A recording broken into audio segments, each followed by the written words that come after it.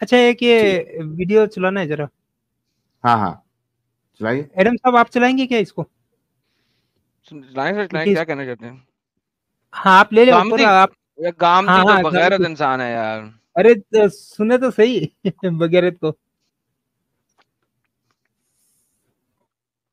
ارے کیا تھا میں نے اوپر؟ کیسے گیا؟ ہوں ہوں۔ آپ چلائیں اے، جدھر روکنا ہے روک لیجیے گا۔ اوکے۔ جی یہ سوال ہے دہشت گردی آئی ایس آئی ایس اور اس قسم کے جو ہمارے یہاں اٹیمپٹس ہو رہے ہیں۔ تو یہ پوچھنا چاہ رہے ہیں کہ کیا یہ جو دہشت گردی ہے، اس کا سبب کیا ہے اور اس سے ہم کیسے نجات حاصل کر سکتے ہیں؟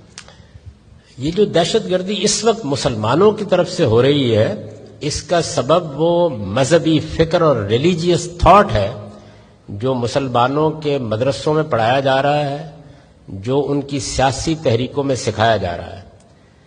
اس کا باعث یہ ہے۔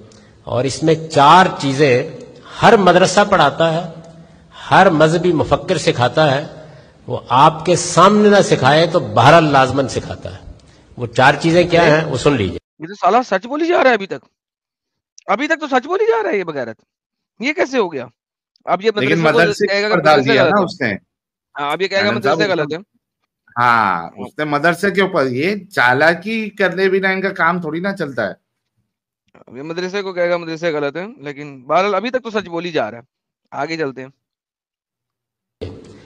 پہلی چیز یہ ہے کہ دنیا میں اگر کہیں شرک ہوگا یا کسی جگہ کفر ہوگا یا ارتداد ہوگا اپاسٹسی یعنی کوئی شخص اسلام چھوڑ دے گا، تو اس کی سزا موت ہے اور یہ سزا ہمیں نافذ کرنے کا حق ہے۔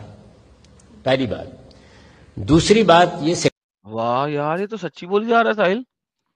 ہاں۔ اچھا۔ جاتی ہے کہ دنیا میں غیر مسلم صرف محکوم ہونے کے لیے پیدا کیے گئے ہیں۔ مسلمانوں کے سوا کسی کو دنیا پر حکومت کا یار یہ تو قرآن کی آیت بولی جا رہا ہے چیپٹر نمبر 9 آیت نمبر 28 29 چیپٹر نمبر 9 آیت یار ہر سچ بولی جا رہا ہے یار نہیں ہے۔ سچ سچ۔ غیر مسلموں کی ہر حکومت ایک ناجائز حکومت ہے۔ جب ہمارے یار بغیر سچی بولی جا رہا ہے ابھی تک سچ طاقت ہوگی ہم اس کو الٹ دیں گے۔ تیسری چیز جو ہر جگہ سکھائی جاتی ہے وہ یہ ہے کہ دنیا میں مسلمانوں کی ایک ہی حکومت ہونی چاہیے جس کو خلافت کہتے ہیں۔ ساحل سب کچھ سچ بولے جا رہے ہیں یعنی مدرسوں میں صحیح سچ سکھایا جا رہا ہے۔ دیا۔ یار صحیح اسلام سکھایا جا رہا ہے مدرسوں میں۔ اب اس کو ریجیکٹ کیسے کرے گا؟ میں یہ دیکھ میں یہ سوچنا چاہ رہا ہوں۔ ان چاروں چیزوں کو یہ اسلامکلی ریجیکٹ کیسے کرے گا؟ یا صرف صرف یہ صرف یہی کہے گا کہ یہ جھوٹ ہے۔ دیکھو دو چیزیں ہوتی ہیں۔ ایک چیز ہوتی ہے کہہ دینا جھوٹ ہے اور ایک چیز ہوتی ہے اسے ثابت کرنا کہ جھوٹ ہے۔ آئیے دیکھیں۔ یہ الگ الگ حکومتیں ان کا کوئی جواز نہیں ہے۔ اور چوتھی بات یہ کہ جدید نیشن سٹیٹ یہ جو قومی ریاست ہے یہ ایک کفر ہے۔ جس کی اسلام میں کوئی گنجائش نہیں ہے۔ یہ واہ کیا بات ہے بابا۔ ایبسولوٹلی ستیہ فرمایا اس نے۔ ڈیموکریسی کی بات کر رہا ہے یہ بالکل۔ نہیں نہیں ملک اور بارڈرز کی بات کر رہا ہے۔ کہ اسلام میں ملک اور بارڈرز کی کوئی وہ نہیں ہے ویلیو نہیں ہے۔ چار باتیں ہمارے مذہبی فکر کی بنیاد ہیں۔ مجھے یہ بتائیے کہ اگر یہ آپ کو سکھا دی جائے تو آپ کیا کریں گے؟ گے۔ اس وجہ سے میں. مسلسل اپنی حکومت سے بھی اور پاکستان کے لوگوں سے بھی کہہ رہا ہوں کہ جب تک آپ اس مذہبی فکر یہ ایک نیریٹو ہے اس کے مقابل میں اسلام کا صحیح نیریٹو نہیں پیش کریں گے یہ لوگ پیدا ہوتے رہیں گے۔ ایک کے بعد ارے مگر بھینس کے ایل وہ صحیح نیریٹو کیا ہے؟ کیونکہ یہ تو قرآن و حدیث سے ثابت شدہ نیریٹو ہے۔ فقہ سے ثابت شدہ نیریٹو ہے۔ تفسیر سے ثابت شدہ نیریٹو ہے۔ شرح سے ثابت شدہ نیریٹو ہے۔ تو جو صحیح نیریٹو تو نے بنایا اکیسویں سینچری میں آ کے اور تیرے پاس کوئی جبرائیل نہیں آیا وہ ہے کیا؟ وہ تو بتا تو نے کہاں سے لیا رے بابا؟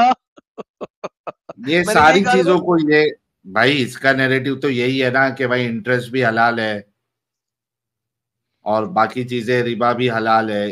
تو اس کا نیریٹو تو وہی ہے نا کہ اسلام کا نقشہ الگ کر کے دنیا کو ایسے دکھاؤ جیسے اسلام بہت اچھا ہے۔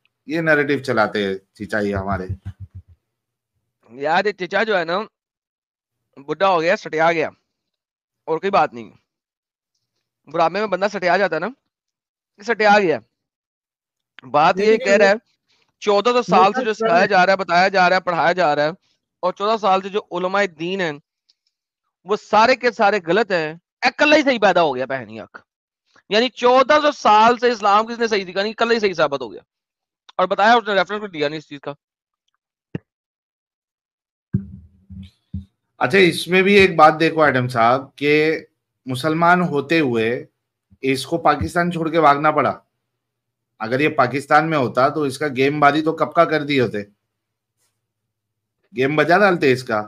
ہاں بچا ڈالتے نکل گیا اور وہاں جا کے اپنا ایک الگ اسلام لوگوں کو بتا رہا ہے۔ پاکستان میں رہتے ہوئے کیوں نہیں کیا بھائی تم نے؟ کہتے اس کو پتا اسلام کرتا کیا؟ کسے پتا اسلام کیا کرتا۔ پتہ نہیں نیا قرآن ہی پیدا کر سکتا ہے یہ۔ ادروائز رام جی کو لے آؤ میرے سامنے۔ سوائے رونے کی اور کچھ نہیں کرے گا۔ بالکل۔